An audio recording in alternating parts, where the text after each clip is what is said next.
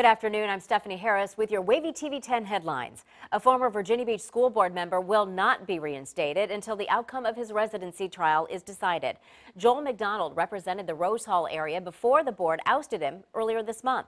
10 on your side was told McDonald moved out of the Rose Hall district. His trial date is set for April 11th. Police in Norfolk say the robbery of a Brinks armored truck was an inside job, and they've arrested two people.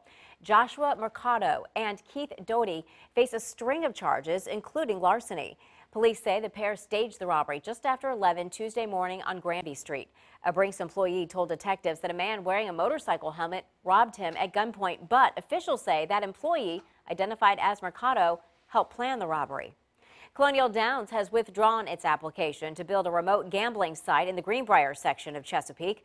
The company wanted to build a Rosie's Gaming Emporium on Rainbow Lane off of Battlefield Boulevard. Now they're exploring other locations and hope to find another place to build. They've already broken ground on a Rosie site in Hampton.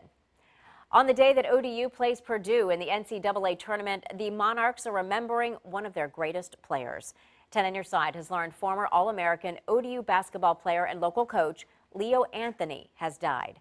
He was the third highest scorer in Virginia history and was a member of the Hampton Roads Sports Hall of Fame. He coached at Granby, Maury, Princess Anne, First Colonial, and Norfolk Academy. You can find all of your headlines throughout the day on wavy.com. Our next newscast is at 4. Have a great day.